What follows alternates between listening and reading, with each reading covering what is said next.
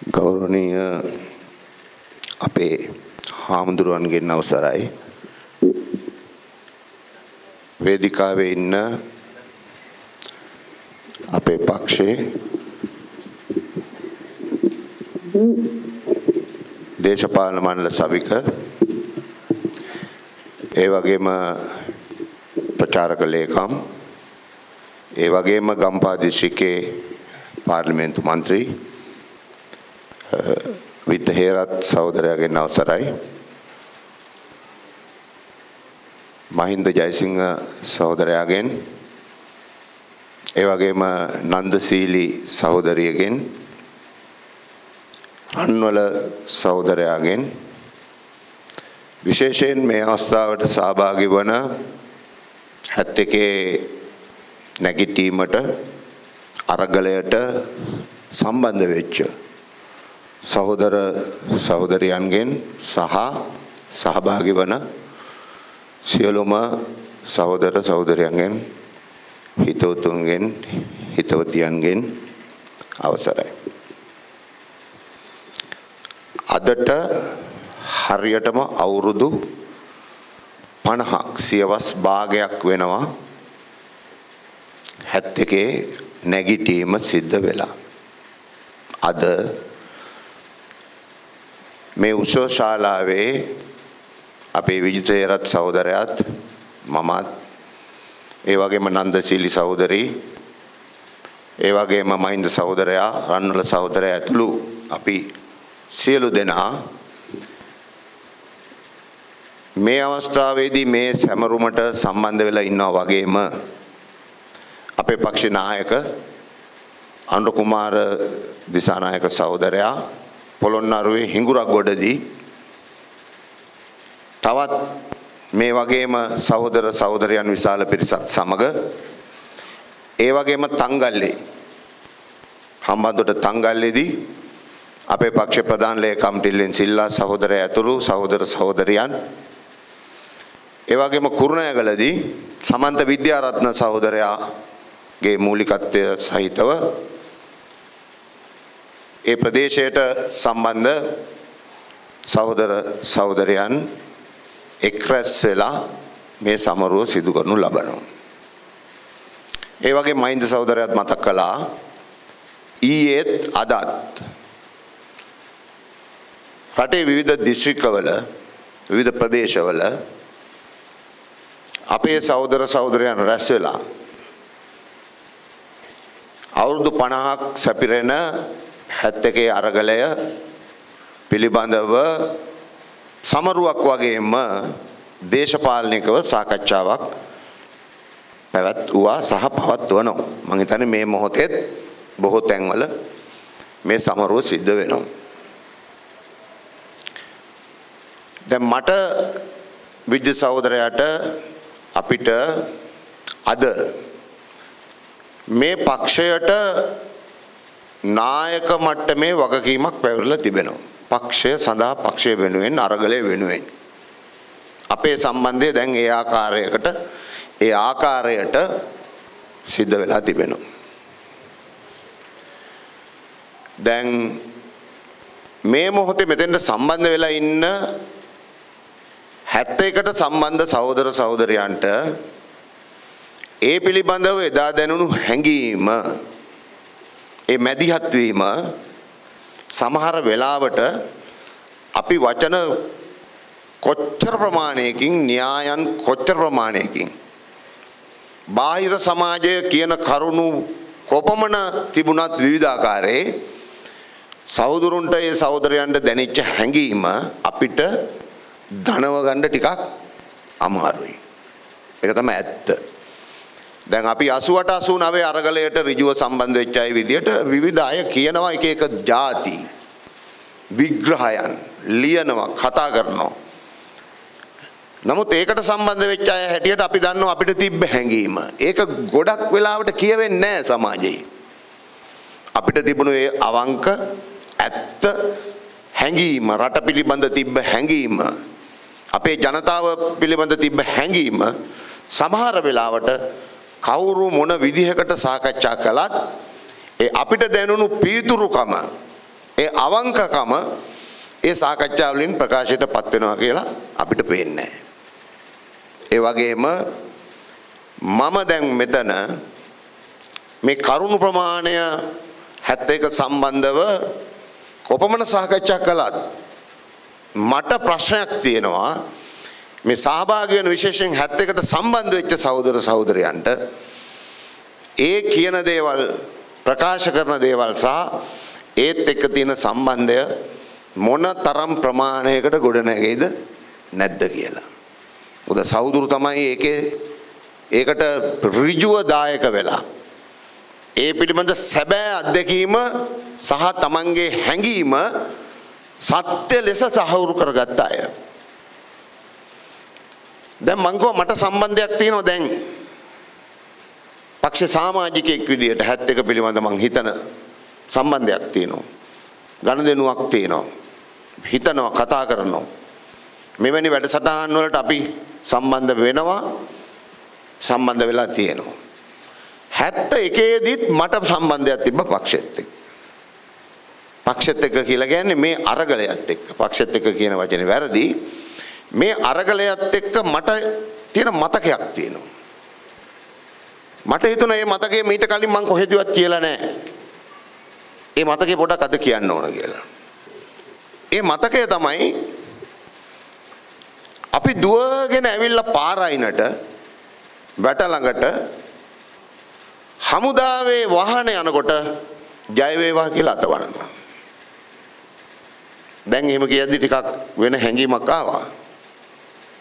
ඇත්තම කියනවා නම් දැන් මේ ඒක ඒක වෙන විදිහකට දැනුණා. හරි. දැන් අද මගේ තියෙන සම්බන්ධයයි අවුරුදු 7ක පොඩි ළමයෙක් විදියට පාරයිනට දුවගෙන ඇවිල්ලා පාර යන හමුදා වාහන වලට අපි ජය වේවා කියලා අතවනද්දී හමුදාවේ කට්ටියත් අපිට අතවනලා ගිය මතකයක් මට තියෙනවා.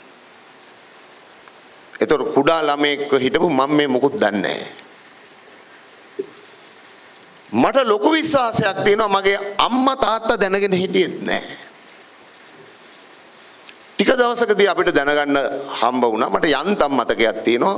ඒක පස්සේ ඇහිච්ච එකක්ද ඒ දවස්වල මැහිච්ච එකක්ද කියලා හරි නිශ්චයක් නැහැ. චේගුවිරා එකේ වැඩ කරපු මාම කෙනෙක්ව අපේ ගෙට පොඩ්ඩක් එහා තියෙන මාතලේ හන්දිය කියන තැන අනුරාධපුරේ අර ආමට් කායයක ආමට් කෝයක ඒ ට්‍රක් එක බැඳලා පාර දිගේ ඇදගෙන ගියා කියලා. බිම දිගේ ඇදගෙන ගියා කියලා කියපු මතකයක් තියෙනවා. 71 සම්බන්ධ ඒ අවදියේ මතකය මට තියෙන්නේ ඔච්චරමයි. වෙන මොකක්වත් මතකයක් නැහැ.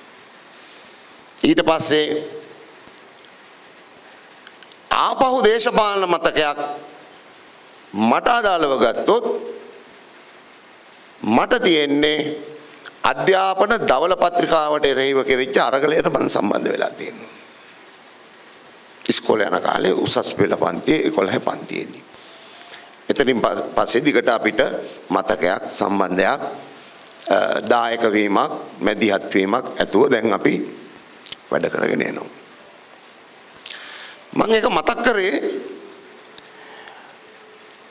අපි 71 දී කරපු අරගලය මොන තරම් දුරට සමාජය දැනගෙන හිටියාද කියන කාරණේ පොඩ්ඩක් මතක් කරන්න. මම පොඩි තමයි. මන් දන්නේ නැහැ. ඒක සාධාරණයි. හැබැයි මගේ අම්මා තාත්තා දැනගෙන හිටියෙත් නැහැ. අද නැවත හොයලා බලනකොට 70 අරගලයට සම්බන්ධ කිසිවෙක් මගේ ගම්පියසේ හොයාගන්න නැහැ. හොයාගන්න නැහැ. පසු කාලෙක මං කලත්තෑවේ සාකච්ඡාව කියලා එකක් පක්ෂෙන් ඉගෙන ගත්තා. මගේ ගේ ඉඳන් කලත්තෑවට තියෙන්නේ එවක දුර මැනපු විදියට සතපුම් දෙකයි. අර මං කියපු මාතලේ හන්දියට තියෙන්නේ සතපුමක් විතර. සාමාන්‍යයෙන් අපි පොඩි කාලේ අපෙන් ගම කොයිද කියලා ඇහුවම කලත්තෑව කියලා තමයි කිව්වේ. ඒතර අපේ පක්ෂ ඉතිහාසය අපි ඉගෙන ගන්නකොට පක්ෂයට සම්බන්ධ වෙලා කලත්තෑවේ සාකච්ඡාව කියලා කියනකොට ගේළඟ ඉඳන් සැතපුම් දෙකක් විතර දුරින් මේ කලත්තෑව තියෙන නිසා සහ සනත් සහෝදරයා පක්ෂය ගොඩනැගීමේ කටයුත්තට ගුරුවරයෙක් ලෙස ඉස්කෝලේ ගුරුවරයෙක් ලෙස ඉඳගෙන සම්බන්ධ වුණා කියලා අපි දැන් ඉතිහාසය ඉගෙන ගන්නකොට ඒ ඉගෙන ගන්න කාලේ වෙනකොට මට පොඩි ආඩම්බරයක් ආවා. මේ අපේ ගමේ කලත්තෑවේ සාකච්ඡාව. පන්ති පහ සකස් වුණේ ඒ සාකච්ඡා උත්සවය කියලා දැන් අපි කියවල ඉතිහාසයෙන් ඉගෙනගෙන තියෙනවා. අත්දැකීම නෙමෙයි පුද්ගලික අත්දැකීම ඉතිහාසය ඉගෙනගෙන තියෙනවා. එතකොට අර එදා දුවගෙන ඇවිල්ලා පාරායිනට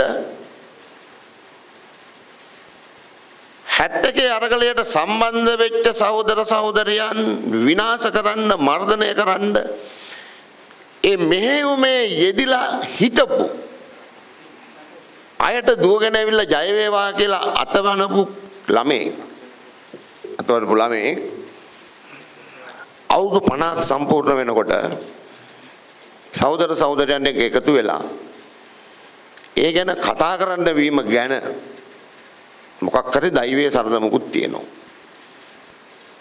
දෛවයේ සරදමකුත් තියෙනවා. මට ඒක මතක් කරන්න ඕනුනේ වෙන මොකටවත් නෙමෙයි. අපේ සහෝදර සහෝදරයන් මැදිහත් වෙච්ච අපේ පක්ෂේ මැදිහත් වෙච්ච අපි මේ කතා කරන දේශපාලනයේ තියෙන වටිනාකම දැනගෙන හිටපු ඒ සමාජය මට හිතෙනවා කුඩයි කියලා. මට හිතෙනවා හරිම කුඩයි කියලා.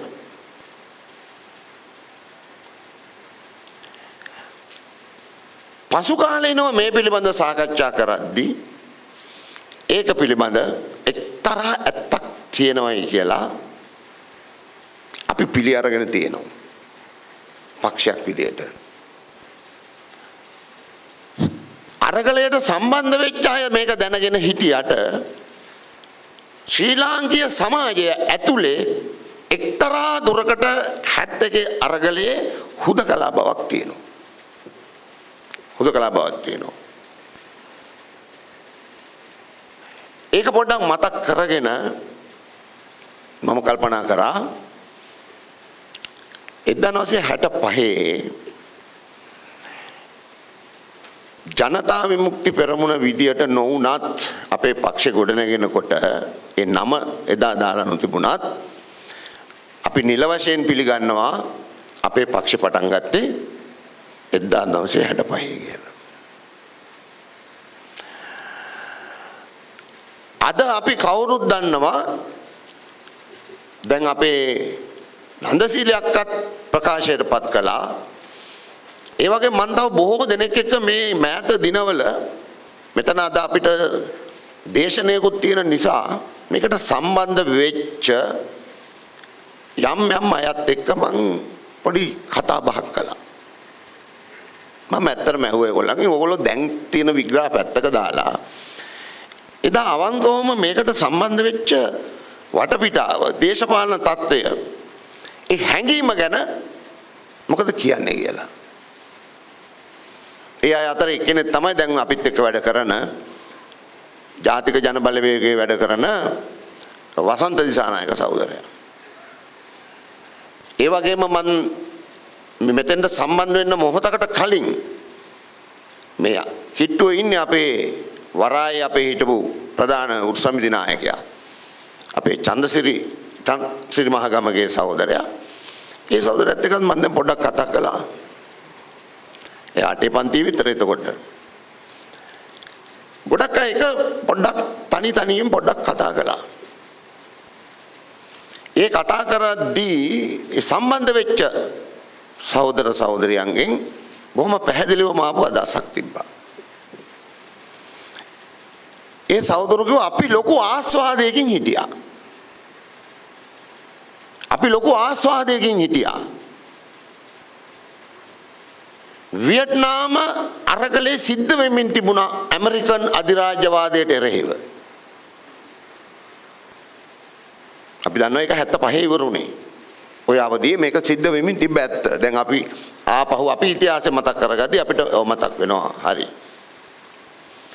කියුබන් අරගලය ජයග්‍රහණය කරලා තිබ්බා. කියුබන් අරගලය ජයග්‍රහණය කරලා තිබ්බා. චීන විප්ලවය ජයග්‍රහණය කරලා තිබ්බා.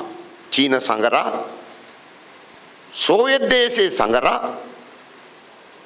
අපේ රටේ ජනතාව අතර ප්‍රචලිතව තිබ්බා. දේශපාලන උමනාවක් තියෙන ඒවා කියවමින් තිබ්බා. සමාජවාදයේ ජයග්‍රහණ පිළිබඳ සාකච්ඡාවක් තිබ්බා. තවත් බොහෝ රටවල් වල අප්‍රිකාවේ, ලතින් ඇමරිකාවේ, අපි ආසියාවේ, වියට්නාම් අදාළ ප්‍රදේශවලම සන්නද්ධ අරගල පිළිබඳ ආස්වාදයක් වගේම ජයග්‍රහණය කරලා තිබ්බා. ඒ සහෝදරු කියන විදියට සහ අපි දැන් හදාarලා තියෙන විදියට සන්නද්ධ අරගල ජයග්‍රහණය කිරීමේ හැකියාවකුත් තිබ්බා. අපිටත් හිතෙනවා තව පොඩ්ඩක් එහෙම වුණා නම් 71 වැඩෙත් හරි කියලා. ඒකත් හරි කියලා හිතෙනවා. හරි. ඒකෙන් මම කියන්න උත්සාහ කරගෙන මොකුත් නෙමෙයි මේ පිළිබඳ ඇති තරම් අපි සාකච්ඡා කරලා තියෙනවා. සන්නද්ධ අරගල ජයග්‍රහණය කිරීම ආස්වාදයක් ලෙස තිබ්බා වගේම ඒවා කෙරමින් තිබ්බ ජයග්‍රහයි විදිහට යමින් තිබ්බා අපේ රටෙත් කිරීමේ හැකියාවක් තිබ්බා. එදා ඒ මොහොතේ. සමාජ අසාධාරණුත් තිබ්බා. දැන් කියවලා තියෙන කොටක් જાති කියන වෙනුවට මම මේ කියන්න යන්නේ. HSC පාස් වෙලා එළියට ආපු තරුණයාට සාමාන්‍ය පෙළ පාස් වෙලා එළියට ආපු තරුණයාට විශ්වවිද්‍යාලය පාස් වෙලා එළියට ආපු තරුණයාට එම තරුණයින් තරුණ තරුණයින් එවකට තිබුණු ධනවාදයට උරා ගන්න සමත්කමක් තිබිලා නැහැ. තිබුණ නැහැ. උරා ගන්න. ඒ අයගේ අවශ්‍යතාවයන් සැපිරෙන ආකාරයකට ඒ පද්ධතියට උරා ගන්න ඔබ අපි කවුරුත් දන්නවා එවකට පැවතුණු ධනවාදය කියලා කියන්නේ රජය මැදිහත් වෙලා ආර්ථිකය පවත්වාගෙන යන්න කටයුතු කරපු යුගයක්. රජය මැදිහත් වෙලා ආර්ථිකය පවත්වාගෙන යන කාලයක්. ඔය සමහර සාකච්ඡාවල තියෙනවා ඒ ඒ ඒ කාලයට කියනවා මේ සමාජ ලිබරල් වාදයේ ක්‍රියාත්මක වෙච්ච කාලයක්. රජයේ මැදිහත් වෙලා. කියන්නේ මේ ධනවාදී සමාජාර්ථික ක්‍රමය ආරම්භ වෙනකොට මේ ආර්ථික කටයුතු වලට රජය මැදිහත් උනේ නැහැ. රජය මැදිහත් උනේ නැහැ. ඔබ අපි කවුරුත් දන්නවා මීට අවුරුදු 500කට 600කට එහා පැත්තේ තමයි මහා කාලයක් නෙමෙයි. මේ ධනවාදී නිර්මාණය වෙලා අපේ රටේ අපේ රටේ ක්‍රියාත්මක වෙන්න පටන් අරන් අද අදට ගත්තත් අවුරුදු 200යි. අවුරුදු 200යි. ලෝකෙට ගත්තොත් අවුරුදු 600ක් උපරිම. නමුත් අපේ රටේ මේ අපේ 71 අරගලය එහෙම නැත්නම් 65 පක්ෂේ බිහි වෙන සමය ගත්තම රජය කියන ආයතනය රජය කියන්නේ ආයතනයක්. සහෝදර සහෝදරයෝ අපි කවුරුත් දන්නවා. මේ රජය කියන ආයතනය ආරම්භයේදී ආර්ථික කටයුතු වලට සම්බන්ධ වුණේ නැහැ. ධනවාදී මුල් යුගයේ. නමුත් මේ අපි කතා වෙන යුගය සාමාන්‍යයෙන් 43 විතර ඉඳන් 1943 විතර ඉඳන් 43 නේ නිදහස් අධ්‍යාපනය අපේ රටට ආවේ. පනත සම්මත උනේ. 43 ඒ වගේ කාලේ ඉඳන් මෙහාට එනකොට 70 දශකයේ අග විතර වෙනකන් අග විතර වෙනකන් අපේ රටේ රජය මැදිහත් වෙච්ච ආර්ථික ක්‍රමයක් ක්‍රියාත්මක වුණේ. ඒ ආර්ථික ක්‍රමය තුල අර තරුණ තරුණයන් ඒ ආර්ථිකයට උරා ගත්තේ නැහැ. ඇදගන්න සමත්ුනේ නැහැ. විතැන් වුණා. විතැන් වුණා. අවස්ථා තිබ්බේ නැහැ. රැකිය අවස්ථා තිබ්බේ නැහැ. කෘෂිකාර්මික සමාජය ගත්තත් කෘෂිකාර්මික සමාජය ගත්තත් හේන් වෙන්න පුළුවන් වෙනත් වගා කටයුතු වෙන්න පුළුවන් ඒවායෙන් ප්‍රමාණවත් ආදායමක් ලැබෙන තත්ත්වයක් තිබෙන්නේ නැහැ. දැවැන්ත ඉඩම් ප්‍රශ්නයකුත් තිබ්බා. දැවැන්ත ඉඩම් ප්‍රශ්නයකුත් තිබ්බා. ඔයනි සමාජ ආර්ථික ප්‍රශ්න ටිකකුත් අපේ රටේ තිබ්බා. ඒ ඒ ඔක්කොම එකතු වෙලා තිබ්බේ තරුණ තරුණයන් මත. තරුණ තරුණයන් මත. එතකොට ඒවාට උත්තර නැති දැවන්ත කෘෂිකාර්මික ප්‍රතිසංස්කරණයක් නැති රජයේ මැදිහත් වෙලා කරගෙන යන ආර්ථිකයට උරාගන්නේ නැති අඩුම තරමින් රැකියාවක් දීලවත් උරාගන්නේ නැති හරි ඉගෙනගෙන එළියට එන දරුවන්ට මොකක්වත් නැති සමාජ ආර්ථික ක්‍රමයක් ලංකාව තුල ක්‍රියාත්මක වෙද්දී ඒ තරුණ પરම්පරාව හඳුනා ගන්නවා ලෝකය තුල කෙරෙන වෙනස්කම්. සමාජවාදයෙන් ප්‍රශ්න විසඳන්න පුළුවන් කියලා විශ්වාසයක් ඇති වෙනවා. ඒ සඳහා වෙන සන්නද්ධ අරගල තියෙනවා ලෝකෙ පුරාම. ඒවා ජයග්‍රහණය කරමින් තිබෙනවා. එනිසා සන්නද්ධ අරගලයන් පිළිබඳව ඒවකට ආස්වාදයක් තිබුණාය කියලා සැලකුතු සහෝදර සහෝදරයන් ප්‍රමාණයක් ප්‍රකාශ කළා. සන්නද්ධ අරගල පිළිබඳ ආස්වාදයක් තිබ්බා කියලා. හැබැයි අපි පක්ෂ ඉතිහාසයේ කියවද්දී අපි ඉගෙන ගන්නවා. රෝහණ විජේවීර සහෝදරයා සන්නද්ධ අරගල මොඩලයක්. මාවතක්. සාකච්ඡා කරේ නැත ඕනෑම තත්ත්වයක ඕනෑම ආකාරයක අපි ඉදිරියට එන අභියෝගයකට අපි මුණ දීලා අරගලය ජයග්‍රහණය කළ යුතුයි කියන ස්ථාවරය තමයි මතය තමයි න්‍යායාත්මකව හිටියේ සහ අපිට තහවුරු කරලා තියෙන්නේ. ඕනෑම ස්වරූපයක එකක්. ඕනෑම ස්වරූපයක. අර ආස්වාදයේ දීපු එක ඇත්ත. ආස්වාදයේ දීපු එක ඇත්ත. ඒක අපිට තේරෙනවා. දැනෙනවා. සන්නද්ධ කළ ආස්වාදයක් තිබ්බා. නමුත් පක්ෂය පන්ති පහ තුල සාකච්ඡා කරද්දී මොඩල් එක රාජ්‍ය බලය ලබා ගැනීම සඳහා සමාජවාදය බිහි කර ගැනීම සඳහා රාජ්‍ය බලය ලබා ගන්න ඕන ඒ සඳහා වන විදිය සන්නද්ධ අරගලයක් කියලා සාකච්ඡා නොකරුණු බව තමයි අපි ඉගෙන ගන්නේ. සහෝදර සහෝදරයන්ගේ හෘද සාක්ෂිය එකත් එක්ක කොහොමද සම්බන්ධ වෙන්නේ කියලා දැන් මට තේරෙන්නේ නැහැ. ඒක එහෙමද? ඔව්ද නැද්ද? සහෝදර සහෝදරියෝ තමයි සජීවීව දන්නේ. එහෙම තමයි සජීවව දන්නේ. හරි. විවිධ විදියට සම්බන්ධ වෙච්ච අය ඉන්නෝනේ. විවිධ විදියට සම්බන්ධ වෙච්ච අය ඉන්නවා. හරි. එතකොට මේ විවිධ අයට තියෙන්න පුළුවන් පන්ති පහ කරපු අය ඉන්න පුළුවන් නැති වෙන්න පුළුවන් වෙනත් අත්දැකීමක් ඒක ඇතුළේදී විතරක් තියන අය ඉන්න පුළුවන්. එයා හිතෙන්න පුළුවන් ඒක තමයි විදිය කියලා. Taman දැකපු දෙයක් තියෙන්න පුළුවන් ඒ අනුව හිතන්න පුළුවන් එදා මෙහෙම තමයි උනේ කියලා. නමුත් දේශපාලනිකව ගත්තම දේශපාලනික විග්‍රහයක් කරගත්තම ඉතා පැහැදිලිව ශ්‍රී ලාංකීය ආකෘතියක් පිළිබඳව කියුබන් ආකෘතියක් හෝ වියට්නාම් විදියක් හෝ චීන විදියක් හෝ වෙනත් කොහේ හරි විදියක් පිළිබඳව අපේ සහෝදර සහෝදරයන් ආලාදී පීකින් ලයින් හෝ මොස්කව් ලයින් හෝ එහෙම විදියක් පිළිබඳව ආකෘතියක් නැතුව ශ්‍රී ලංකීය ලාංකීය ආකාරයකින් අපිට මාවේනික ආකාරයකින් අර විප්ලවය රටපටවන්න බෑ කියලා කියනවනේ. අපේ මූ ආකාරයකින් මේ අරගලය ජයග්‍රහණය කිරීම සඳහා සමාජය සූදානම් කරමින් පක්ෂය ගොඩනගමින් පක්ෂයක් ගොඩනගමින් කටයුතු කර බව තමයි අපිට පිළිගන්න සිද්ධ වෙලා තියෙන්නේ. ඒක තමයි ඇත්ත. ඒක තමයි ඇත්ත. දැන් මං කැමති පොඩ්ඩක් විවිධ විදියට කියවෙලා තිබුණත් මොකක්ද මේ අපේ අරගලේ අදත් අපි නිරත වෙන මේ සටනේ අරගලේ අපි කරගෙන යන දේශපාලනේ අරමුණ මතක් කරගෙනම යන්න.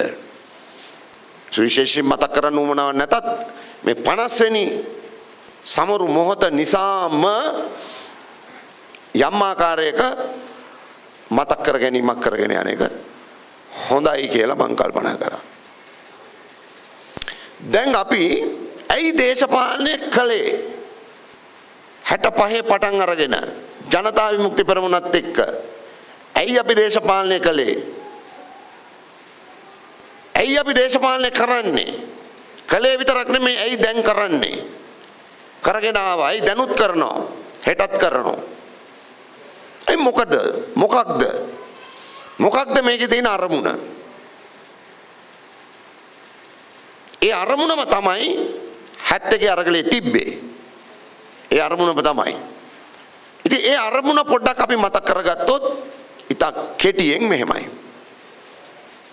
අපිට ඕන කරලා තිබෙනවා අපිට ඕන කරලා තිබෙනවා මේ අපි හැමෝටම මිනිසා විසින් මිනිසාව පීඩාවට පත් නොකරන සමාජයක් දකින්න. ගොඩනගා ගන්න. මිනිසා විසින් මිනිසා පීඩාවට පත් නොකරන සමාජයක්. පක්ෂ හදන්නේ ඒකට. පක්ෂ කියන්නේ හදලා ඉවර ආයතනයක් නෙමෙයි. පක්ෂ හදන්න පටන් ගන්න ඒකට. අදත් ඉවර නැහැ. අදත් ඉවර නැහැ. රෝණ විජේවීර සහෝදරයා 65 පක්ෂය හදන්න ආරම්භ කරනවා.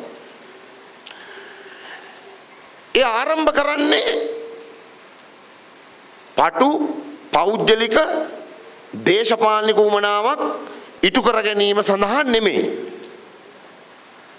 ඒක නෙමෙයි. ඒක තහවුරු කරනවා 71 අරගලයට දිවිදුන් සහ අරගලයට සම්බන්ධ වෙච්ච සහෝදර සහෝදරයන්ගේ භාවිතාවෙන්. ඒක තහවුරු කරනවා. පෞද්ගලික අරමුණකට නෙමෙයි.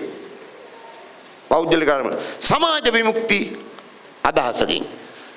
ඒ සමාජ විමුක්තිය මොකද්ද සමාජවාදය?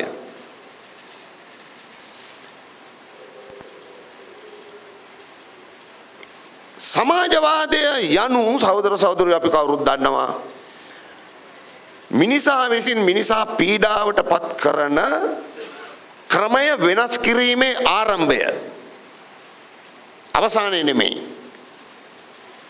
මිනිසා විසින් මිනිසාව පීඩාවට පත් කිරීමේ ආරම්භක පියවර තමයි පළවෙනි මොහොත තමයි රාජ්‍ය බලය. පළවෙනි මොහොත තමයි රාජ්‍ය බලය. ඒතර අපිට ඕන මිනිසා විසින් මිනිසා පීඩාවට පත් නොකරන සමාජයක්. දැන් අදත් එක්ක අපි පොඩ්ඩක් මේක කතා කරමු. අදට සම්බන්ධ කරලා. දැන් එදාට මම චුට්ටක් සම්බන්ධ කරගත්තා. එදා එදා තිබුණු ධනවාදය රජයේ මැදිහත් වෙලා හසුරුවන ආර්ථික ක්‍රමය ඒ සුබ සාධන ආර්ථික ක්‍රමය හැබැයි ධනවාදයම තමයි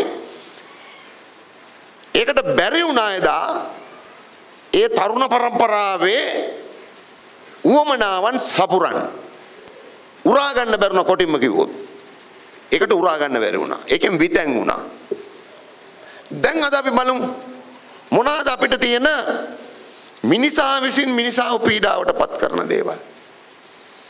එක ධනවාදයේ එක එක කියලාම යන්න වෙනවනේ. එදත් අදාළයි අදත් අදාළයි. එක සූරාගෑම. ඒක තමයි එක. ධනවාදය ඇතුලේ මිනිසා විසින් මිනිසාව පීඩාවට පත් කරනවා පෞද්ගලික ප්‍රතිලාභ වෙනුවෙන් දේපල රැස් කිරීම වෙනුවෙන් පුජ්‍යල දේපල වෙනුවෙන් ඒවා වැඩි දියුණු කර ගැනීම වෙනුවෙන් ඒවා Tamanට රිසි පරිදි පරිහරණය කිරීම වෙනුවෙන් සූරා කරනවා.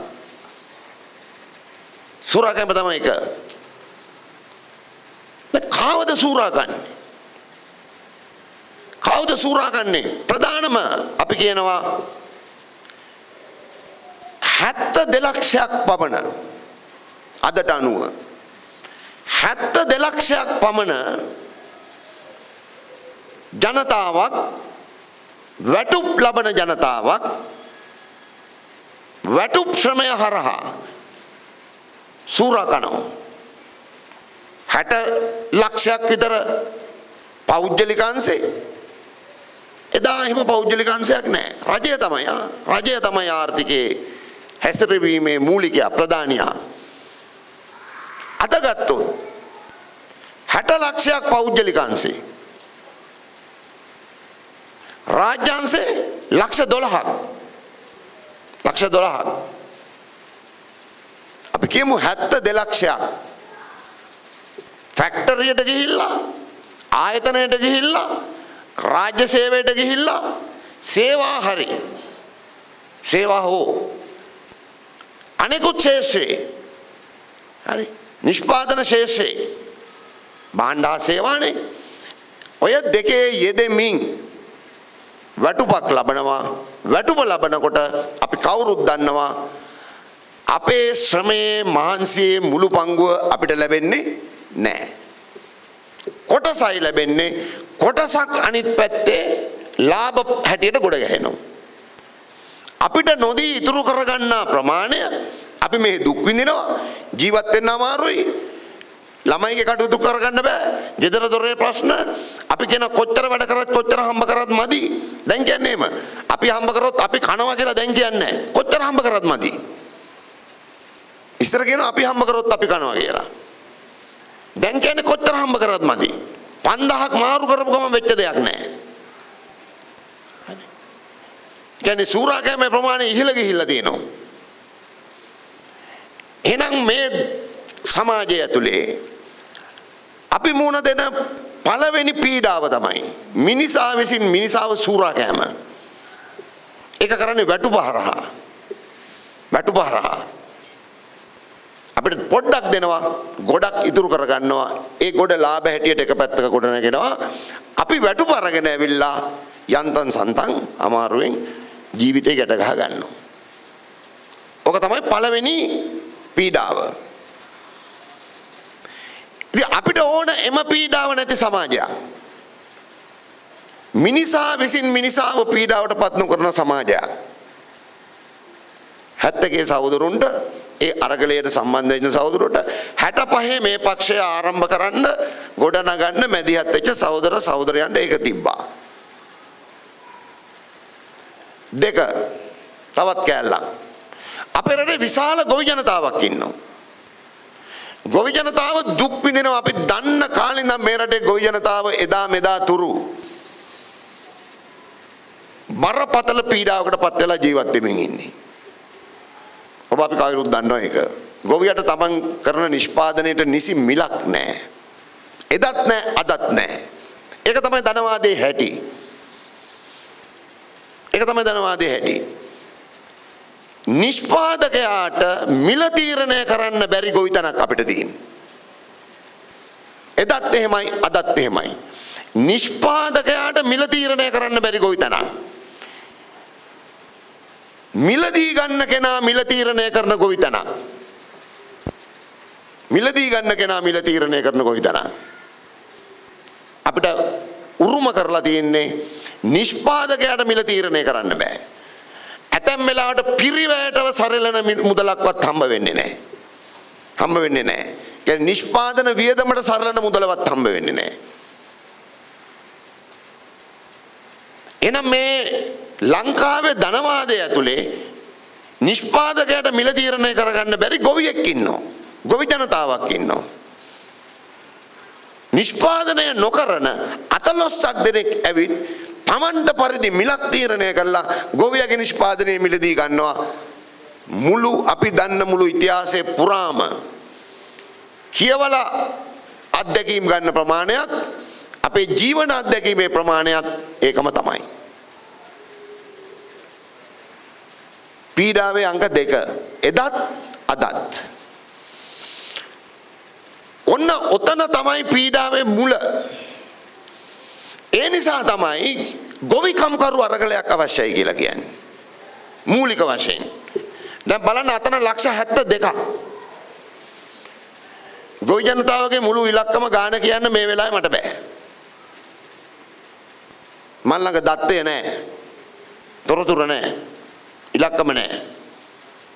නමුත් ඔබ දන්නවා අපේ දිස්ත්‍රික්ක වශයෙන් බලන්න ගම්පහ දිස්ත්‍රික්කේ විශාල ප්‍රමාණයක් ගොවිතැන් කරලා ජීවත් වෙන්නේ. හරි. රට පුරා විශාල ප්‍රමාණයක් කෘෂිකාර්මික ප්‍රදේශ. විශාල වශයෙන් ගොවිතැන් කරලා ජීවත් වෙනවා. හරි. අනිත් පැත්තෙන් අර 72 ලක්ෂය විශාල ප්‍රමාණයක් රටේ ජනතාවෙන් රටේ ඉන්නේ කීයද? 2 කෝටි 20 ලක්ෂයයි. අති විශාල ප්‍රමාණයක් ජනතාව. එතකොට ඒ ජනතාව එදත් අදත් එදත් අදත් සමානයි හැබැයි එදාට වඩා පීඩාවද වැඩි. එදා රජයේ සේවකයෙක් කිව්වොත් ඒ කියන්නේ ක්‍රමයට උරාගත්ත කෙනෙක්. එයාව සූරාකෑමකට ලක් වෙනවා. නමුත් අපිට මතකයි අපේ පැත්තේ රජයේ සේවකයෙක් කිව්වොත් එයාගේ ගෙදර තමයි උළු වහපු ගෙයක් තිබ්බේ. එයාගේ ගෙදර ළමයි තමයි ඉගෙන ගත්තේ. ඉගෙන ගත්තේ. අපේ ඉස්කෝලේට ආපු ගුරුවරයා නතර වුණේ එහෙ රජයේ සේවකයාගේ ගෙදර බෝඩිමේ. ඒ අපේ අත්දැකීම්. නිසා එක්තරා ප්‍රමාණයකට එදා රජයේ සේවකයෙකුට සූරාකෑමකට ලක් වුවත් අදට වඩා මාණ්ඩා සේවා මල්ල ලබා ගැනීමේ හැකියාවක් තිබ්බා එදා සාපේක්ෂව ඔහු තුළ යම් ඒ ප්‍රදේශයට සාපේක්ෂව ඔහු යම් මට්ටමක ජීවත් වුණා.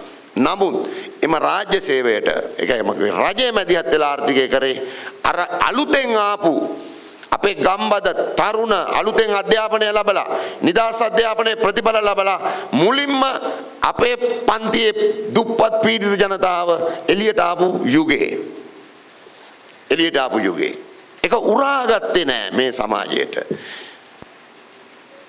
ඒකට ඕන කරන පළල් වෙච්ච ධනවාදයක් තිබ්බේ නැහැ. අපි කියන්නේ අපේ රටේ ධනවාදයේ පසුගාමී කියලා. බොහෝ තව කාරණාත් එක පසුගාමී කියන්නේ. මම කියාගෙන එන්නේ අපේ අරමුණ 65 පක්ෂේ හදද්දිත් දැනුත් 71 අරගලයට මැදිහත් වෙද්දිත් එකයි. පෞද්ගලික නැහැ. පොදු එකක්. අපේ දේශපාලනය එක එතකොට අපිට සූරාකෑමේ ක්‍රියාවලියකට අපි ගොදුරු වෙලා තිබ්බා. ඒක තමයි පීඩාවේ මිනිසා විසින් මිනිසාව පීඩාවට පත් කිරීමේ මේ ධනවාදය ඇතුලේ අපිට තියෙන ප්‍රධානම කාරණේ. දැන් තව ඒවා එකතු වෙලා තියෙනවා. දැන් තව ඒවා එකතු වෙලා තියෙනවා. ඊට අමතරව ඔබ අපි කවුරුත් දන්නවා අද අපිට බත් කටක් කන්න බෑ. මේ අපේ රන්වල සහෝදරයත් දැන් මෙතන ඉන්නවා. සහෝදරයා මේ ශේෂ්ත්‍රයේ ලොකු විවිධ ආකාරයකට සම්බන්ධ වෙනවා. අද සහල් වල මොනවද තියෙන්නේ? අද අපිට බත් කටක් වස නැතුව කා ගන්න බැරි පීඩාවකටපත් වෙලා ඉන්නවා. උදාහරණයකට ගත්තොත් බත්වල මොනවද තියෙන්නේ? ආසනික් තියෙනවා, කැඩ්මියම් තියෙනවා. ආසනික් තියෙනවා, කැඩ්මියම් තියෙනවා. මං හිතන්නේ 71 වෙනකොට 65 වගේ කාලේ එහෙම තත්ත්වයක් තිබෙන්නේ නැහැ. සාපේක්ෂව එක අඩුයි. අද වස නැති බත් කටක් කා ගන්න බැරි රටක් මේ ධනවාදය අපිට දීලා තියෙනවා. ධනවාදය කියන්නේ ආයි මෙච්චරයි. අපි ඉන්නේ තරංගයක. අපි ඉන්න දේපල රැස් කිරීමේ තරංගයක. අපි දුවනවා. එකිනෙකා මරා ගන්නවා. අපිට ඕන ලාභ හම්බ කරන්න ඕන. එතකොට මනුෂ්‍යත්වය නැතුව යනවා. ඒක බිඳ වැටෙනවා.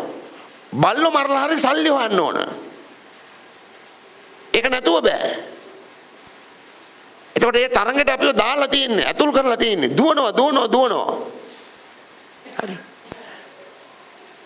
එදා මේ තරම් දිව්වේ නැහැ. අද ඒ දුවන වේගය වැඩි වෙලා තියෙනවා. ඒක විසින් අද අපිට කැඩ්මියම් නැති ආසනික් නැති බත් කටක් කන්න බැරි රටක් නිර්මාණය කරලා තියෙනවා. පීඩාවක්. දැන් මේ පොල් තෙල් ප්‍රශ්නයක් තියෙන මේ දවස්වලනේ. මොකක්ද ඒකේ කතාව? සෞදුරු දන්නවා. පුස් පිළිබඳ ප්‍රශ්නයක් මේ තියෙන්නේ. හරි නම මොකක්ද කියන්නේ? ඇප්ලොටෙක්සින් ඇප්ලොටොක්සින් පිළිකාකාරකයක් තියෙනවා කියලා කියන්නේ. මේවා සුද්ධ කරලා ගෙනාවත් මෙහෙට එන අතරදී පුස් හැදිලා ඒ හරහා නිර්මාණය වෙන්න පුළුවන්. හරි. දැන් අද අපිට පොල් තෙල් ටිකක් කන්න බෑ. කාලයක් ආව කිරිපිටි වල තියනවා කියලා ලොකු කතාවක් මොකද්ද? මොනවාද ආවේ? ඈ මෙලමයි. කුකුල් මස් කන්න බෑ. මොනවාද? අධික හෝමෝන. හරි. ඊළඟට එළවලු වල කෘෂි රසායන. පළතුරු වල මාළු වල මාළු ගන්නකෝ. මාළු වල ෆෝමලින්. දැන් ඔහොම කියාගෙන කියාගෙන කියාගෙන කියාගෙන යන්න පුළුවන්. දැන් මේවා අලුත් ඒවා. හරි. ඒවට දැන් පන්ති ભેදයකුත් නැහැ. පන්ති ભેදයකුත් නැහැ. ඒවා පන්ති ප්‍රශ්න වලට වඩා එහා ගිය මාතෘකා බවට පත් වෙලා තියෙනවා. ඒ කියන්නේ මේක ඇතුලේ තරංගේ. ඉතින් දුවනවා දුවනවා දුවනවා. එතකොට මිනිසා කෙරෙහි මිනිසා දක්වන ආදරයක් නැහැ. බැඳීමක් නැහැ, ගෞරවයක් නැහැ. කියන්නේ මිනිසා විසින් මිනිසාව පීඩාවට පත් කරනවා මේ. ආදායම් වෙනුවෙන්, ලාභ වෙනුවෙන්, දේපල වෙනුවෙන් වහස කවනවා. වස කවනවා. බත් කටක් කා ගන්න බැරි, ආහාර වේලක් පිරිසිදුව ගන්න බැරි, වතුර ටිකක් පිරිසිදුව බොන්න බැරි පීඩාවක්. මුළු සමාජයටම අද නිර්මාණය කරලා තියෙනවා. ඉතින් අපිට ඕන මිනිසා විසින් මිනිසා රකින මිනිසා විසින් මිනිසාට ආදරය කරන.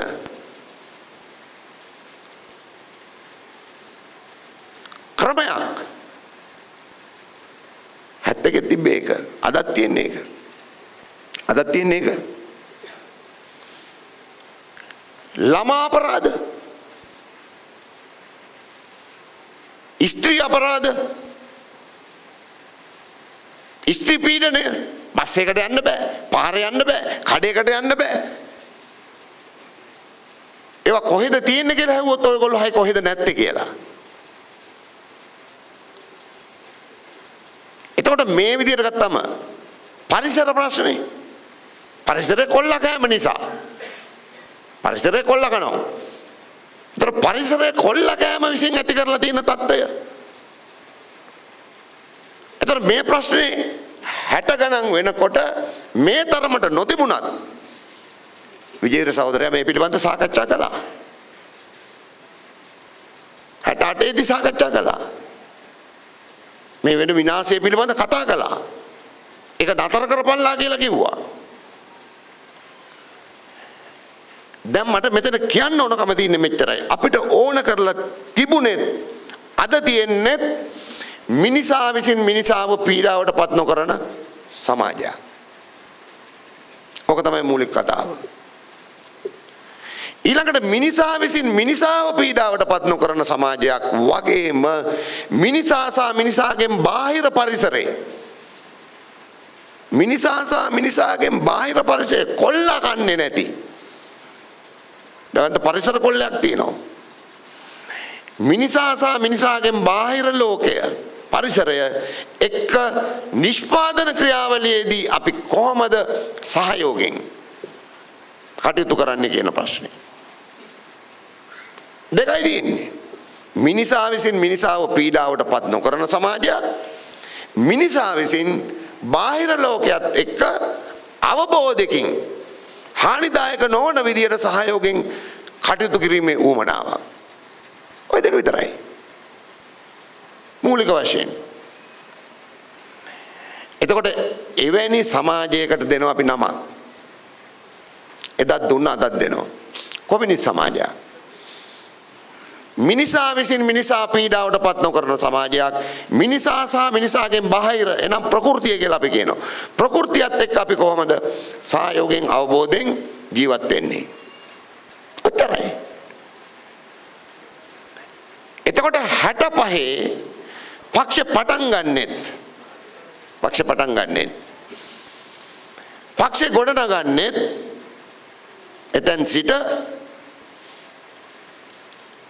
අන්න අතෙන්ට යෑම අරමුණු කරගෙන රාජ්‍ය බලය ගැනීම අරමුණු කරගෙන ඉලක්ක කරගෙන අර අරමුණ වෙනුවෙන් රාජ්‍ය බලය ඉලක්ක කරගෙන. ආපහු කිව්වොත් මිනිසා විසින් පීඩාවට පත් නොකරන සමාජයක්. මිනිසාගෙන් පරිබාහිර ලෝකයක් එක්ක අවබෝධයෙන් සහයෝගයෙන් කටයුතු කරන සමාජයක්. එච්චරයි. ඒක කොමිනිස් අපිට ඕන කරලා තිබුණා හැටපහේ පක්ෂ බිහි කරනකොට ඊට කලින් තිබුණු සමසමාජ පක්ෂ කොමිනිස් පක්ෂ මේක අත්තරලා දාපු නිසා වමේ ව්‍යාපාරය එවකට පැවතුණු ඒ ඌමනාව පාවා දීපු නිසා අලුත් පක්ෂයක් කරහා ඒ ඌමනාව ඉෂ්ට කර ගැනීමට සමාජ සංවිධානය කරන්න.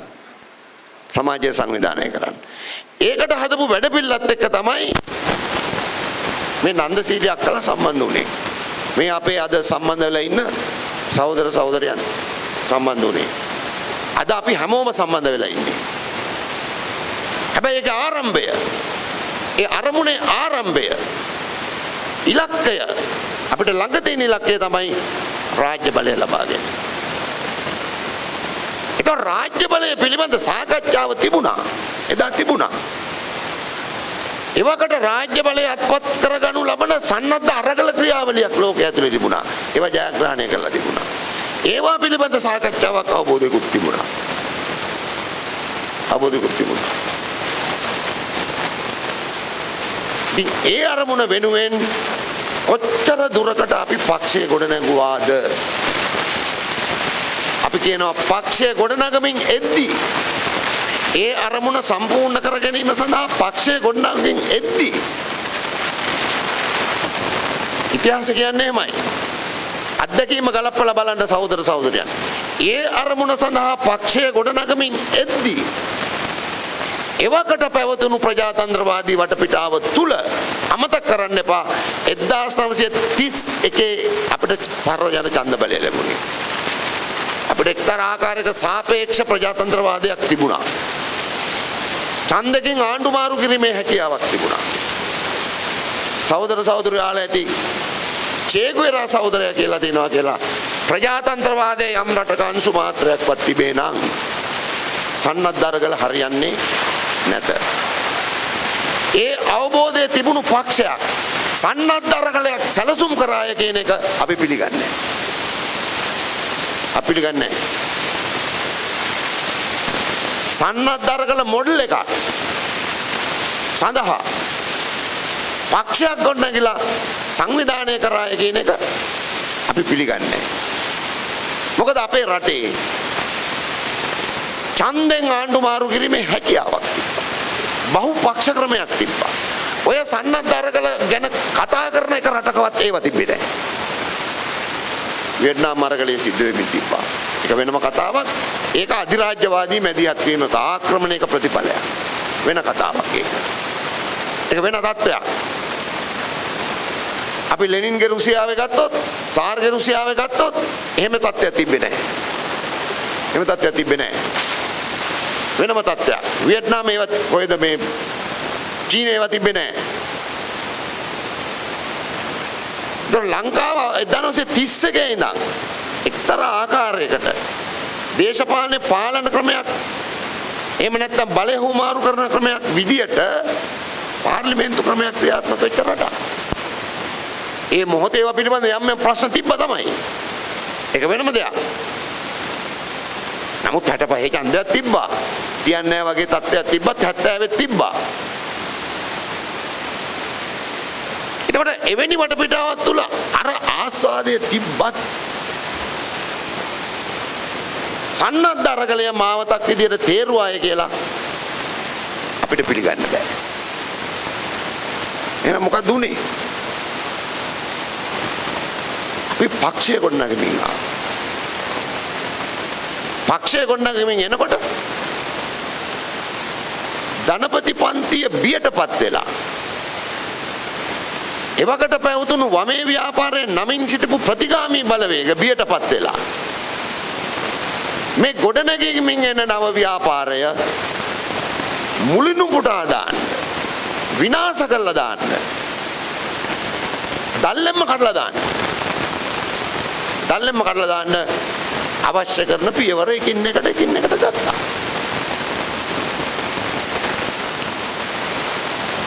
අපිට අයිතියක් නැහැ ඔවුන්ට දොස් කියන්න.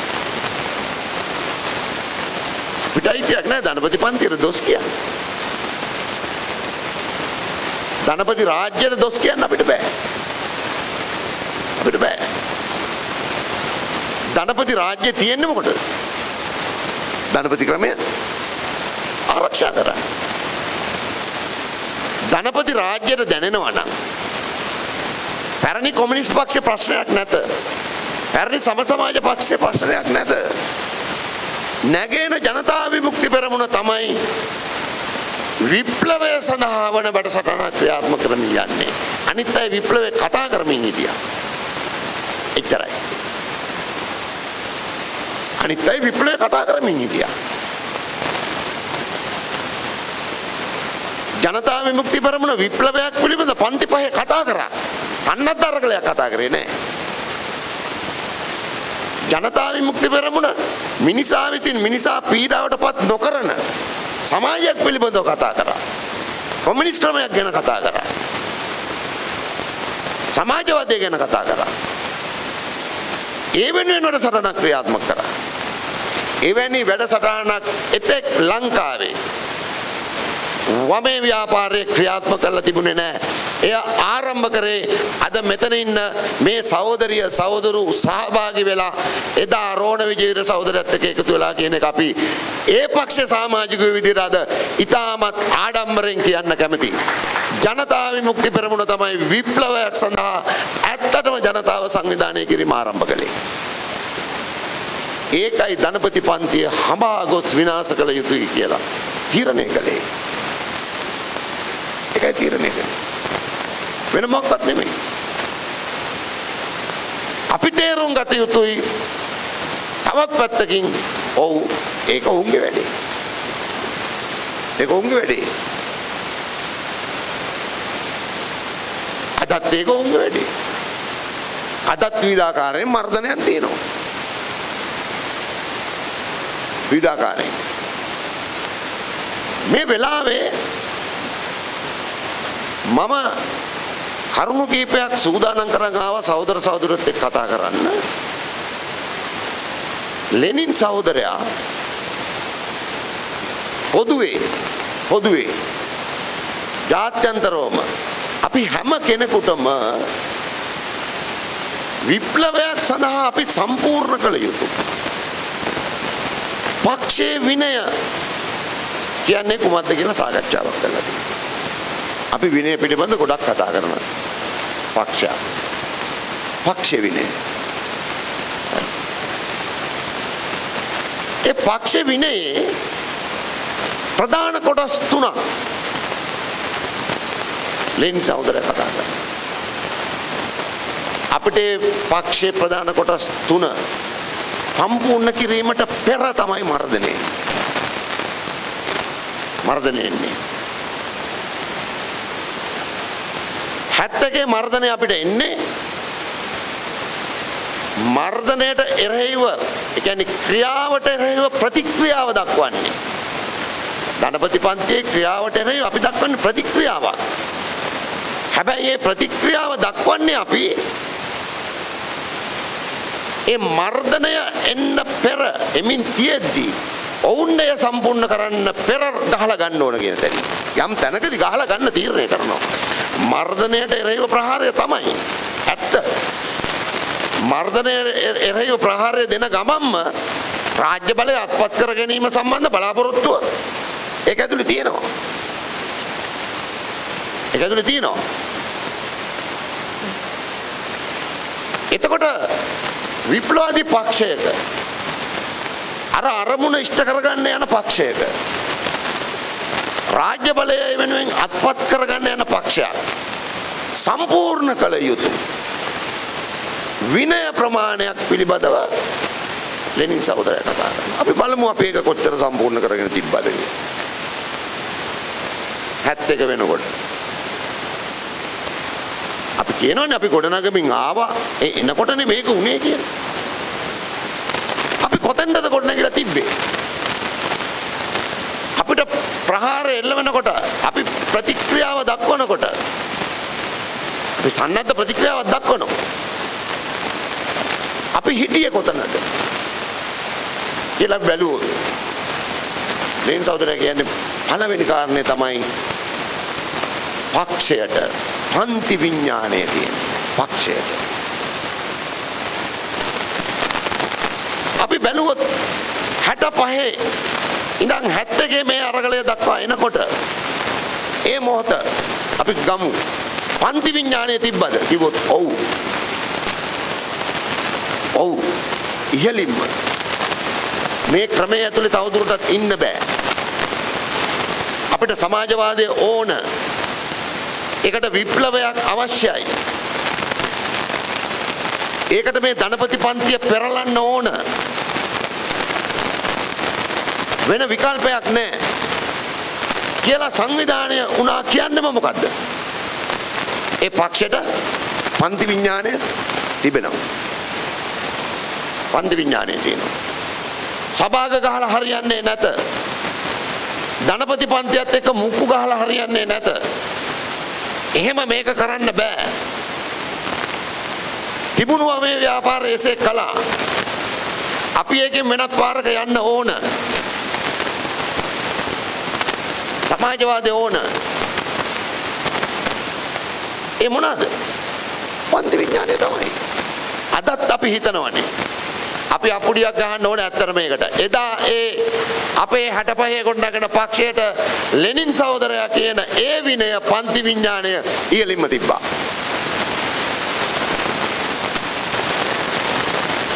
ඒකත් එක්කම කියනවා පන්ති විඥාණය සහ කැපවීම. කැපවීම එන්නේ පන්ති විඥාණයත් එක්කම තමයි. පන්ති විඥානයක් නැතුව ඒ කැපවීම එන්නේ නැහැ. ඒකයි මේ වාක්‍ය එකට බැඳලා කියන්නේ පන්ති විඥාණය සහ කැපවීම නිර්ධන පන්තියේ පක්ෂයට තියෙන්න ඕන. මේ කියන්නේ පක්ෂය ඇතුළේ ඉන්න තනි තනි පුජ්‍යලයා ගැනම නෙමෙයි. පක්ෂයක් විදිහට තියෙන්න ඕන. පක්ෂයක් විදිහට. අනිපතේ පුජ්‍යලු ඉන්න පුළුවන් නැති අය ඉන්න පුළුවන්, තියෙන අය ඉන්න පුළුවන්. ඒකේ අඩු වැඩිකම් තියෙන්න පුළුවන්. පාවා දෙන්නේ උන් ඉන්නේ ඒකනේ, දාලා යන්නේ ඒකනේ, අනිත් පැත්තට මාරු වෙන්නේ ඒකනේ, ද්‍රෝහියෝ බවට පත් වෙන්නේ ඒකනේ. නේ? ඒකේ ඊළඟට ඒක ඉවර නෑ ඒ කොටසේ. හරි. පන්ති විඥානය සහ අරමුණ වෙනුවෙන් කැපවීම. දැන් එදා හිටපු සහෝදර සහෝදරයෝ මෙතන ඉන්නවා සාක්ෂියට. අපේ අක්කා ඉන්නවා, සහෝදරයෝ ඉන්නවා. මේ පන්ති විඥානයයි කැපවීමයි කියන එක තිබ්බද කියලා අපි බැලුවොත් ඒ තිබුණු එකම තමයි අපි මේ සමරන්නේ. තිබ්බ නිසාම තමයි සමරන්නේ. තිබ්බ නිසාම තමයි ඒ ඒ තරුණ પરම්පරාවට අද වැඩි හිටියෝ අපේ ගෞරවය හිමිවන්නේ ඒකෙම නොපසුපස්නා වීරය මේ මන්නේ මේ කියන්නේ ලෙන් සහෝදරයා විජේවීර සහෝදරයා මාක්ස් ලෙනින් වාදී පක්ෂයක් හදන්නේ ලෙනින්ව දන්න නිසා ඒ නිසා තමයි අපි මාක්ස් ලෙනින්වාදී පක්ෂයක් කියලා නම් කරගන්නේ. නිකන් නෙමෙයි. අපි අදත් කියන්නේ අපි මාක්ස් ලෙනින්වාදී පක්ෂයක්. එදා ගොඩනැගුවේ එහෙම එකක්. ඒකට පන්ති විඥාණය තිබ්බා, කැපවීම තිබ්බා, නොපසුබස්නා වීරය තිබ්බා. නොපසුබස්නා වීරය. මර්ධනයක් එනවා දැන් ඒකට සූදානම් වෙනවා මලකඳක් නැති රටක මලකඳක් පරීක්ෂාවකින් තොරව නීතිමය පියවරක් නැතුව විනාශ කරන්න පුළුවන් කියලා තීන්දුව ගන්නකොට නොපසුබස්නා වීරයක් තිබෙන ඉඳ තමයි ඒකට ප්‍රතිපහාරය දෙන්නේ. ඒකට ප්‍රතිපහාරය දෙන්නේ. ඒ විතරක් නෙමෙයි නොපසුබස්නා වීරය නිසා තමයි හිරගෙවල් ඇතුලේ නැවත පක්ෂය ගොඩනගන්නේ. නොපසුබසන වීරයක් තිබ්බ හින්දා. සමහර එකට හිටපයි ද්‍රෝහීන් වෙද්දි නඩු විභාගෙදී පාවල දෙද්දී නඩු විභාගයේ සම්පූර්ණයෙන්ම තමන්ගේ අර්ථ නිරූපණයක් නැතුව මුළු නඩු විභාගයම ඇතුළත් කරලා තියෙන පොත තමයි සහෝදරයා දෙතින්නේ.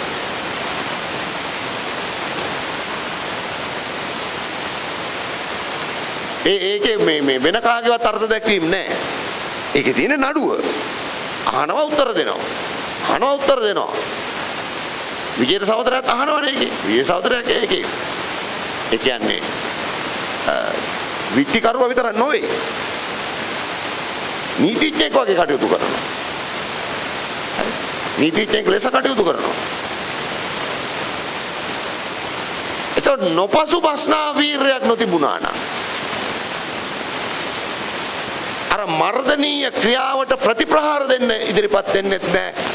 නැවත පක්ෂය ගොඩනගන්න ඉදිරිපත් වෙන්නෙත් නැහැ. 71 අරගලයට සම්බන්ධ වෙච්ච සහෝදරුන්ට අර පන්ති විඥානයයි ඒ කැපවීමයි නොපසුබස්නා වීරයයි එකට තිබුණු නිසා තමයි අදත් අපිට ජනතා විමුක්ති පෙරමුණ කියලා පක්ෂයක් තියෙන්නේ.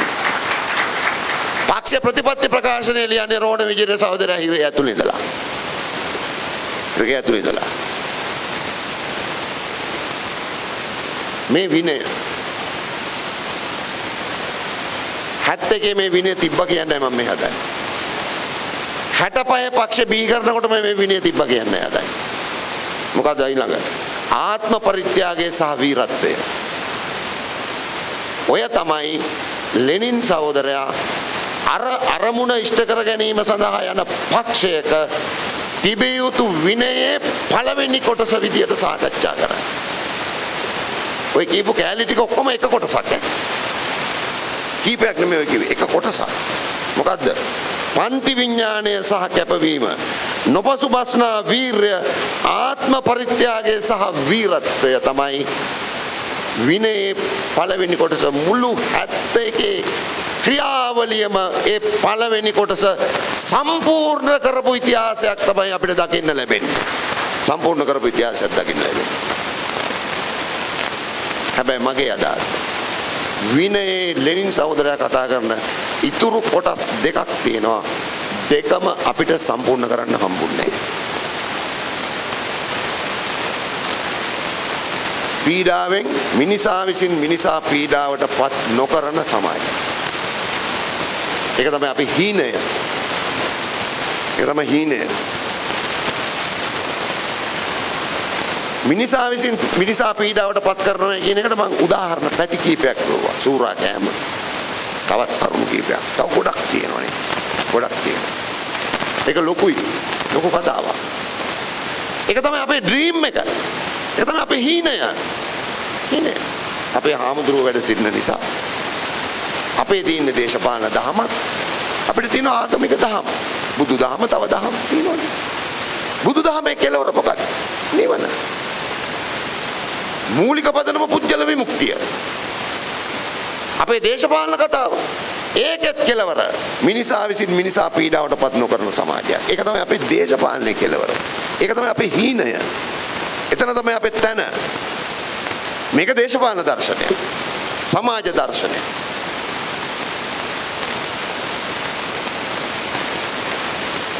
ඒකෙදි 71 වෙනකොට එහෙම සමාජයක් ගොඩනගන්න අවශ්‍ය කරන ව්‍යාපාරයක දේශපාලන විනයේ පළවෙනි කොටස සම්පූර්ණ කරද්දිම තමයි අපිට ප්‍රහාරය එල්ල වෙන්නේ.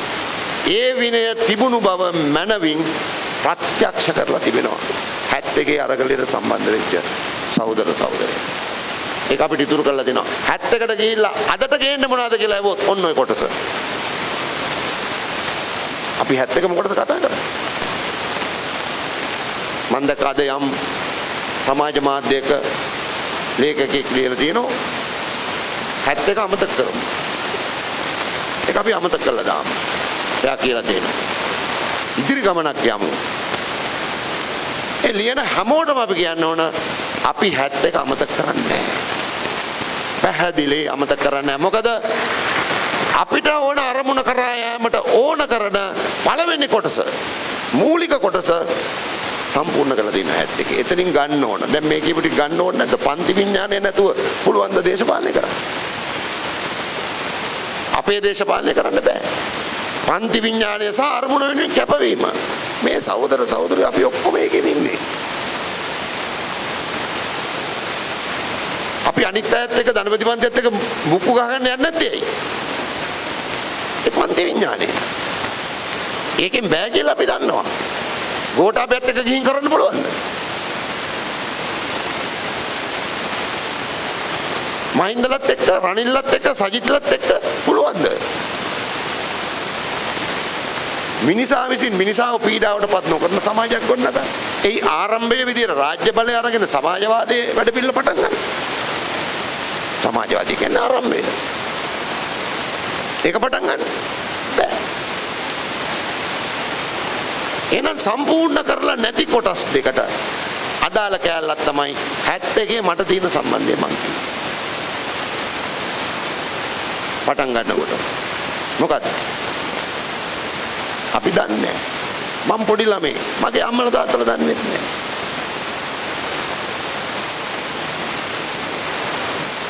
අප්‍රේල් 4 වෙනිදා 5 වෙනිදා ප්‍රවෘත්ති වලින් කියනකම් සමාජයේ අති බහුතරයක් මේ ව්‍යාපාරය දන්නේ නැහැ. 71 වෙනකොට. හරි. දෙවෙනි කොටස මම කියන්නේ. විනය දෙවෙනි කොටස තමයි වැඩ කරන ජනතාවගේ පුළුල්තම කොටස්. වැඩ කරන ජනතාවගේ නිර්ධන පන්ති කොටස්. මේ සමාජයේ ඉන්නවා. වැඩ කරන ජනතාවගේ පුළුල්තම කොටස් බහු ජනතාව. සමග සමීප සම්බන්ධයක්. මුහුවීමක් සමීප සම්බන්ධයක් මුහුවීමක් ගැලපීමක් අර කියන්නේ ලෙනින් සහෝදරය කියන්නේ වෙන විදිහකට කියනවා මේක වෙන තැන්වලදී. අපේ පන්තියේ උපරිම විශ්වාසය දිනා නොගත් පක්ෂයකට මේ වැඩේ කරන්න බෑ. හරි. මේ වැඩේ කරන්න බෑ. අපේ පන්තිය අපේ පීඩිත පන්තිය නිර්ධන පන්තිය පොදු මහ ජනතාව සමග මොකක්ද අපිට තිබුණු සමීපතම සම්බන්ධය? 71 වෙනකොට සහෝදර සහෝදරයෝ අපි හැංගීම් බර වෙලා මේ ප්‍රශ්නේ දිහා නොබලන්න කාලය ගත වෙලා තියෙන හැටි තරම් අවුරුදු 50ක්. අද අපිට හැඟීමෙන් තොරව බුද්ධියෙන් මේක දිහා බලන්න පුළුවන්. බුද්ධියෙන් බලන්න පුළුවන්. සෑහෙන කාලයක් ගත වෙලා නිසා. නිර්ධන පන්තියත් සමග නිර්ධන පන්තියේ පුළුල්තම කොටස් සමග ලෙනින් සහෝදරේ පොදු ජනතාවත් සමග නිර්ධන පන්තික නොවන පොදු ජනතාවත් සමග සමීප සම්බන්ධතා පවත්තා. සංයෝග වෙන්න. සංයෝග වෙනවා කියන්නේ ලං වෙනවා කිට්ටු වෙනවා නේ. ලං වෙනවා කිට්ටු වෙනවා බැඳෙනවා. ඒ කොටස තමයි විනය දෙවෙනි කොටස. ඒ කොටස සම්පූර්ණ කරපු නොකත් පක්ෂයකට මේ වැඩේ කරන්න බෑ. එදා එහෙම තත්ත්වයක් තිබ්බද? නන්දසීලයක් අර අපි ගෙන් කොක්ක ගැහුවා. ඇත්ත. හරි. කෙනෙක් සම්බන්ධ කරගත්තා. එයා දන්නව රහසිගතව. එයාව සංවිධානය කරා. හරි. ඇත්ත. ඒක ලොකු කැපවීමක්. හරි. ඒක ලොකු මෙදිහත් වීමක්. ඒක හරි. නමුත් පන්තිය පන්තිය? නිර්ධන පන්තිය? නිර්ධන පන්තික නොවන කොටස්? පොදු ජනතාව සමග සමීප සම්බන්ධකම්? එක්කෙනෙක් එක්ක වෙන වෙනම නෙමෙයි. ඔවුන්ට ලංවීම කිට්ටුවීම සමීපවීම සංයෝගවීම නොවන පක්ෂයකට මේ කළ නොහැකි. එදා එවැනි තත්ත්වයක් දෙවෙනි කොටස විනයේ ඒ කොටස අපි සම්පූර්ණ කරේ නෑ. ඇයි? අපිට සම්පූර්ණ කරන්න දුන්නේ නෑ. ඒකනේ අපි කියන්නේ. අපි ඒ සඳහා ගමන් කරමින් ඉද්දි විජේර සහෝදර හයිට් පාක් එකේ රැස්වීම තියද්දි ඒව ආරම්භ කරද්දි අපි පෝස්ටරේ ගහද්දි 70 මැතිවරණයට පත්‍රිකාව බෙදද්දි ජනතා විමුක්ති පෙරමුණේ නමින් පළවෙනි පත්‍රිකාව බෙදනවා 70 මැතිවරණයට එහෙනම් ඒ දෙවෙනි தත්ත්වය අපි අත්පත් කර ගැනීමට පෙර තමයි අපිට මර්ධනය එන්නේ. ධනපති පන්තිය හරියට තෝරලා තිනවා. කොමියුනිස්ට් පක්ෂයට තෝරපු නැති එක, සම සමාජ පක්ෂයට තෝරපු නැති එක, එවකට පැවතුණු වමේ යයි කියා ගන්න කිසිම පක්ෂයකට තෝරපු නැති එක ජනතා විමුක්ති පෙරමුණට තේරුවා. ඔවුන්ගේ තේරීමත් හරි අපේ සහෝදරුවන්ට දීපු උත්තරෙත් අමරණීයයි. අද අවුරුදු 50ක් ගත වෙනකොටත් ඒ උත්තරේ අමරණීයයි. ඒ උත්තරෙත් හරි. වෙන උත්තරයක් තිබ්බේ නැහැ. එහෙනම් තිබ්බේ අපේ දේශපාලන අයිතිය අකුලන්න අත්තරින්න. අත්තරලා දාලා පැත්තකට වෙන්න. සමාජවාදී වැඩ පිළිවෙල අත්තරින්න විප්ලවය පිළිබඳ බලාපොරොත්තු අත්තරින්න යත්තරේ නෑ. අර කොටස සම්පූර්ණ උනේ නෑ ඇත්ත. ඒක තමයි පක්ෂය කියන්නේ. ඒක තමයි විජේවීර සහෝදරයා කියන්නේ. අපි පක්ෂයක් හැදන්න පටන් ගත්තා. අපිට සමාජවාදය පිළිබඳ අරමුණක් තිබ්බා. අපිට රාජ්‍ය බලය පිළිබඳ උමනාවකුත් තිබ්බා. අපි ඒ වෙනුවෙන් ජනතාව සංවිධානය කරගෙන ආවා. ඒ අපේ සහෝදරුන්ගේ අර මම කියපු පන්ති විඥානය තිබ්බා. කැපවීම තිබ්බා. ආත්ම පරිත්‍යාගය සහ වීරිය තිබ්බා. ඒක අපි 71 දී දැක්ක තිබ්බ බව. 71 දී ඒක තමයි ඔප්පු කරේ. ඒක තිබුණු බව. අයි ඒක අයි බලන්න දෙයක් නැහැ. ලෙහලා බලලා තින්නේ මල්ල. අයි බලන්න දෙයක් ඉතුරු කරේ නැහැ. ඒක තමයි 71 සහෝදරුන්ගේ තියෙන වටිනාකම හරි දෙවෙනි කොටස අපි සම්පූර්ණ කරේ නැහැ අපිට බැරි වුණා අපිට ඉඩ තිබ්බේ නැහැ ඉඩ තිබ්බේ නැහැ. අවුරුදු 6 යන්තම් 71 වෙනකොට පටන් ගත්ත විතරයි. දැල්ලම කඩලා දාන්න හැදුවේ. ඊළඟ කොටස.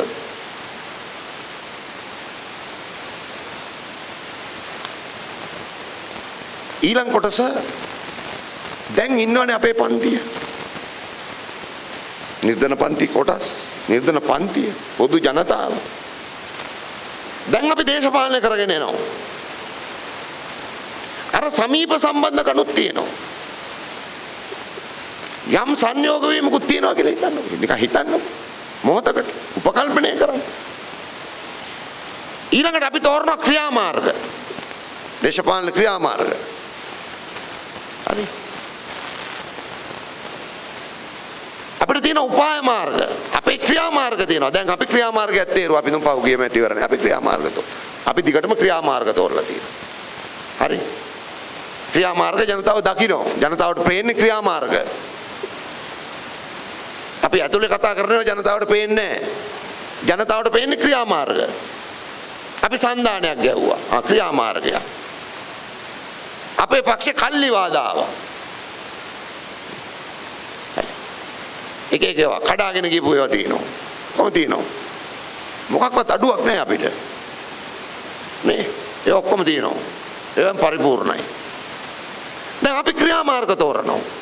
මේ තෝරන ක්‍රියාමාර්ගවලදී අර කියපු ජනතාව අපේ පන්තිය ඒගොල්ලන්ගේ අත්දැකීමෙන් අපි කියන හින්දා නෙමෙයි. ඒගොල්ලන්ගේ අත්දැකීමෙන් ඒගොල්ලෝ දැකලා තියෙන්න ඕන අපේ ක්‍රියාමාර්ගවල නිවැරදිභාවය. අපි කියන හින්දා නෙමෙයි. අපි ෂෝක් කියලා අපි කියන හින්දා නෙමෙයි. අපි හරි කියලා අපි කියන හින්දා නෙමෙයි. අපි තමයි විප්ලවවාදීන් කියලා අපි කියන හින්දා නෙමෙයි. අපිට සමයි මේ ප්‍රශ්න විසඳන්න පුළුවන් කියලා අපි කියන හින්දා නෙමෙයි. අපේ ක්‍රියාමාර්ග වලින් ඔවුන්ගේ අත්දැකීමෙන් ඔවුන් අපේ ක්‍රියාමාර්ගවල නිවැරදිභාවය පිළිබඳ විශ්වාසය ඇති කරගත යුතුයි. ඒතර අපේ ක්‍රියාමාර්ග වලින් අපි පිළිබඳ විශ්වාසයක් අපේ පන්තියට 71 වෙනකොට තියනවද? නෑ. එහෙම එකක් නෑ. එහෙම අත්දැකීමක් නෑ සමාජයට. අපේ ක්‍රියාමාර්ග වලින් අපේ ක්‍රියාමාර්ගවල පවතින නිවැරදිභාවය පිළිබඳව 71 වෙනකොට පොදු සමාජයට අපේ පන්තියට ඔවුන්ගේ මත්දැකීමක් නැහැ. ඒක තුන්වෙනි කොටස. තුන්වෙනි කොටස. ඔය කොටස් තුන සම්පූර්ණ කිරීමෙන් තොරව පක්ෂයේ විනය පිළිබඳ දේශපාලන විනය. පක්ෂයේ දේශ පක්ෂය කියන්නේ නිර්ධන පන්තියේ පෙරමුණු බලයනි. පක්ෂයේ. ලයින් සහෝදරය කියන්නේ JPK කියලා වෙනම නෙමෙයි. නිර්ධන පන්තියේ පෙරමුණු බලයනි. විනය පිළිබඳ කතා කරන්නවත් වටින්නේ නැහැ. ඒක ගැන කතා කරන්නවත් දෙයක් නැහැ. හැබැයි එම විනය සම්පූර්ණ වන්නේ නිකම්ම නෙමෙයි. ඊළඟ ලෙන්ස නිකම්ම නෙමෙයි. අත්දැකීම් වලින් පරිණත වීමෙන් කැපකිරීමෙන් ඔය කියන වැඩ කිරීමෙන් හැර හරි වෙනත් ඒ සඳහා ක්‍රමයක් ඇත්තේද නැහැ. ඒක තමයි කියන්නේ. ඒව නිකන් සම්පූර්ණ වෙන්නේ නැහැ. ඒව නිකන් සම්පූර්ණ වෙන්නේ නැහැ. ඒවා සම්පූර්ණ වෙන්නේ එම ව්‍යාපාරය අත්පත් කරගන්න අත්දැකීම් වලින් වෙන ක්‍රමයක් නැහැ. ඒවා පරිණත කරගන්නේ ඒවෙන්. දැන් අපේ සහෝදර සහෝදර විශේෂයෙන් අද මේ සහභාගී වෙන අය අතර 71කට සම්බන්ධ වෙච්ච සහෝදර සහෝදරයෝ. මේ කියන විනය මේ කියන විනය පක්ෂයක් විදිහට අපි සම්පූර්ණ කරලා තිබ්බාද කියලා හිතුවොත් උත්තරේ ඉන්නේ එයින් එකයි අපි සම්පූර්ණ කර තිබ්බේ. එයින් එකයි. මොකද ඒක අපිට පන්ති විඥානය තිබ්බා. හරි. ඒ වෙනුවෙන් කැපවීම තිබ්බා. නොපසුබස්නා වීරය ආත්ම පරිත්‍යාගය සහ වීරත්වය තිබ්බා. ඒකෙන් කරන්න පුළුවන් දේ තමයි ඒ කළේ. පන්ති විඥාණයෙන් අරමුණ වෙනුවෙන් කැපවීම ජීවිතේ ගියාද නැද්ද? අපි මැරලා ගියොත් මේ කොඩිය අරගෙන වෙන කවුරු හරි යයි. සමාජවාදයට ජය වේවා විප්ලවයට ජය වේවා නේ. නේ. ඒවා අපේ තිබ්බ ඕන තරම් ආත්ම පරිත්‍යාගය සහ වීරත්වය. වීරත්වය ගැන කතා කරන්න ගියොත් නම් ගම් ගොඩාක් ඉතිහාසයේ තියෙනවානේ. ලියවිලා වෙනුවෙන්. ඉතින් ගොඩක්. ගොඩක්. ඒ කොටස ඒ කොටස පන්ති විඥාණය කැපවීම වීරත්වය ආත්ම පරිත්‍යාගය